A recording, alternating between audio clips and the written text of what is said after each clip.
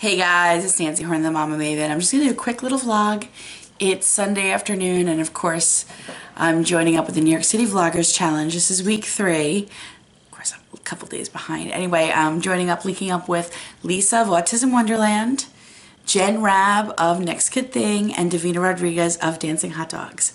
So, it was a good week, but what I want to talk about today is Friday. On Friday, my youngest son, Skylar, got an award for Student of the Month for Science in January. That's a huge deal.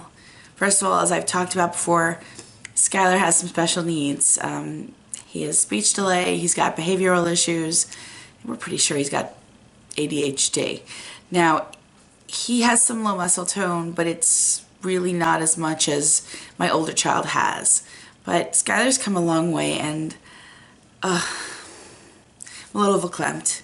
I was so proud that he got Student of the Month for science. He loves science. Dinosaurs, that's his thing. He's crazy about all sorts of animals, and the fact that he got recognized in his special in his, his grade for science, I'm, I'm thrilled. Um, it was first class, got recognized for science, and you know there was two him and another kid from his class, and then the other kids from kindergarten class who won for their Student of the Month for their classes we're thrilled. This is the first time any of my kids have gotten Student of the Month for anything.